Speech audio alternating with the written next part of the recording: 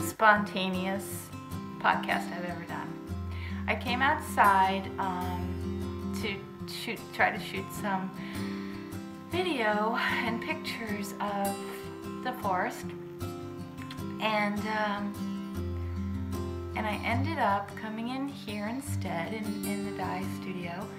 Um, and then I just got this weird like urge to just talk to you guys for a minute. So I wanted to talk to you mainly about a new pattern that I released uh, called the Bubbling Brook Shawl. Uh, I made this two weeks ago, I think I crocheted it, and it only took me a few days, and it just came to me really quickly, and I thought it um, turned out really beautiful. It's a triangular shawl, uh, lacy-ish, lacy-ish, with bubbles. And I used my hand-dyed yarn, so I used um, Brazil wood for this rose color and black walnut for the brown. And it's um, so far one of my favorite patterns. And I just released it yesterday on both Ravelry and my website.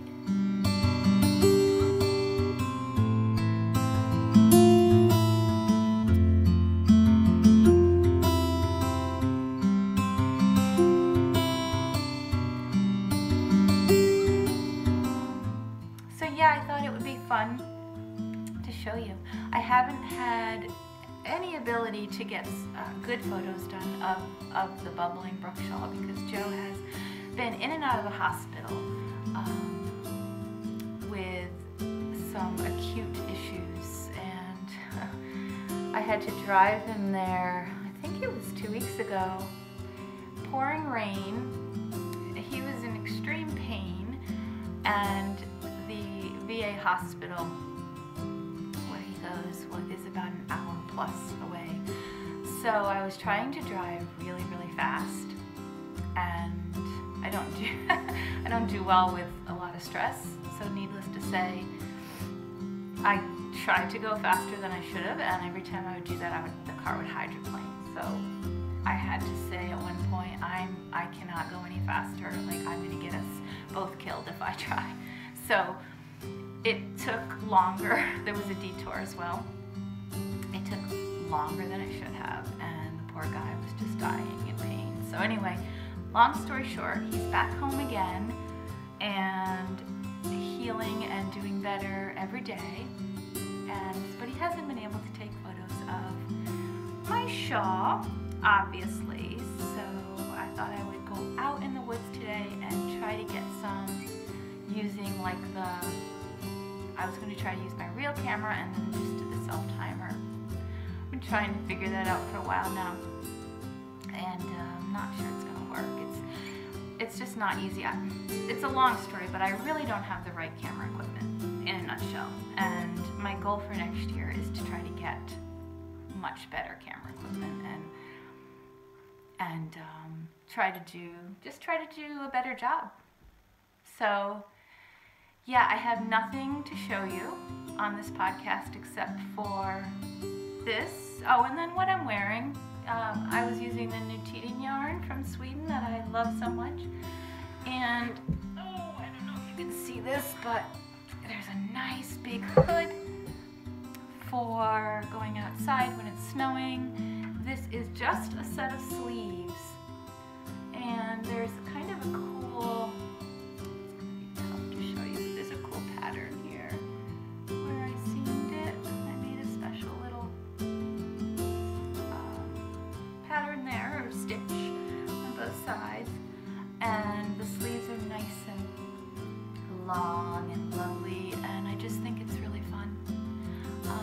back does have a design, uh, lacy design, but again, it's hard to show you.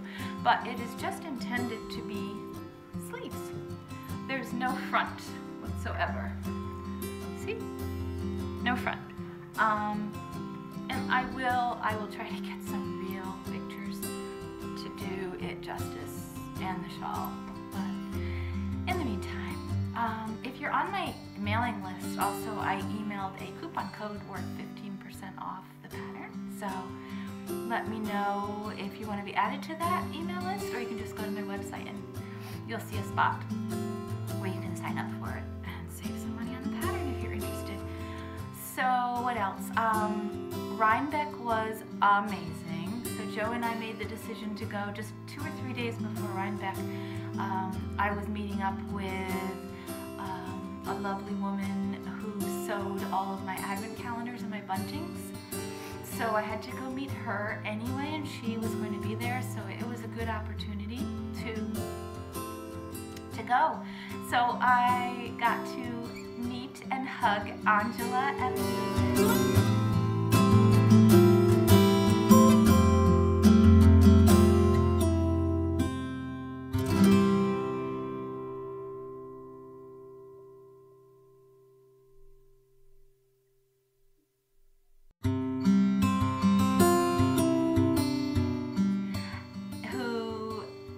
some of you may know, I adore. And so that was so, so fun. And Angela brought me a gift, the most generous gift. She brought me a, um, what did she say? It was half of an advent calendar. I think she said it's like 12 days. So I think that's what she said. It's all in a box and I will not be opening it until um, December, but I was so, so touched by that.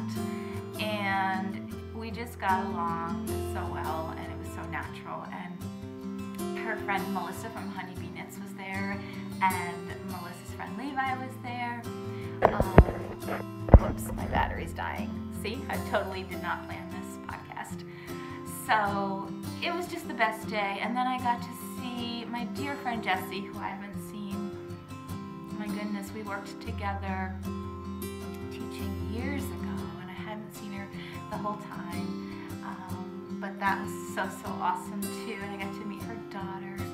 And it was just the best, best time. Um, Joe got me my Christmas present early. He surprised me by buying me a WooLee Winder. For those of you who spin, you might know what that is. But um, it's it makes it so much easier. But it was definitely more than I deserved. Um, yeah, he spoiled me the entire day. And we just had the best time. We went there and went home the same day, which was a long, long day, but so much fun. I'm really, really glad I went. It wasn't as crowded as I thought it would be, although it was crowded. I didn't feel overwhelmed at all. I felt like I had plenty of space to get away when I needed to. What else is new? So much, but I don't really have notes, and normally I have notes um, I just am winging it. and I hope you guys don't mind. Sometimes I think it's good to be spontaneous. Um, we have snow on the ground. Yep, we got our first snow three days ago, two or three days ago, and it's sticking around because it's cold. Um, yeah, my fingers are freezing right now and my nose is running because it's cold. But um, I've been extremely swamped with work. I mean, like, with the ad, getting the Advents ready, which by the way, they're going on on Tuesday. So they're a little late because of Joe being hospitalized and all of that. So they were a little late. I wanted to have them out at the beginning of November, and now they're obviously not going out until almost the middle, but still, they'll be there in time. And I've also been really busy on another business model, and I thought that I would take all of the years and all of the research and just all of my experience on having and building a website and being on social media and building following there. All of the knowledge that I've acquired over these years, I really thought would be helpful um, to pass on to other people. So this this is specifically geared toward introverts and anyone with HSP.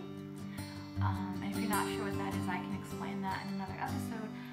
Um, but I am an HSP and I am an introvert, and that can be really difficult sometimes to put yourself out there. But I have um, figured out a way, and I just wanted to share that with everyone. So what I've done was I've written a course, an e-course, and so far it has 10 lessons on being an introvert and starting your own online crafty business. So the name of it is Craft a Living. Some of you may have seen this. Um, I have 25 lovely ladies already signed up for the beta course because I want to test it out first. Um, it's the best way to see if there are any areas that I need to improve on or any questions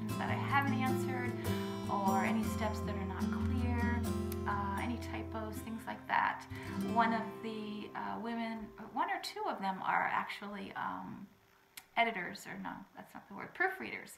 So that's really handy. And so the first lesson went out yesterday, and then each week I will release another lesson. Hopefully we can finish up all 10 by the end of this year, and then I can release the actual e-course as a whole to the public. Um, I haven't decided on how much I will charge yet for it. All of that will come um, throughout the rest of this year. I will finalize everything, but so far I've had a really good reception to this idea, and I've started an Instagram account called Craft a Living where I already have almost like 100 women there, and the, the conversations are lively and there's engagement. And it's wonderful, and if you fit that description at all, please join us there. It's it's so much fun. I'm loving this. It's very different than what I've done with my crafty endeavors, but I am a teacher. That's that's what I went to college to be. So that is something I, I'm good at. I feel very strongly about and passionate about. So I think it's time to try to help other women that are just like me. So yeah, that's been great. But but really, really keeping busy. I've been sitting at the computer for eight to ten hours a day sometimes. But um, it felt really good to get that first lesson out there yesterday and to get the good feedback that I'm getting so far. Um, other news is, let's see, headed down obviously to Connecticut for Thanksgiving, and then we'll have a Thanksgiving up here as well. So two every year, which I love. Was dyeing yarn all day yesterday. I've had some custom orders, putting together some kits um, for the Bubbling Brook shawl, um, and also for our Sugar on Snow shawl as well. Look for those in the shop soon. And um, yeah, I think that's about it. I'm going to keep this really short and then hopefully I can do a more structured, planned out podcast for you in the near future. So I hope that you have been having a really good November and maybe you have snow where you live. Some of you still have like really hot temperatures and I just hope that you are content and you have some knitting out and that you're enjoying um, last days before things get really busy for the holiday season. All right, everyone, I'll talk to you soon. Bye.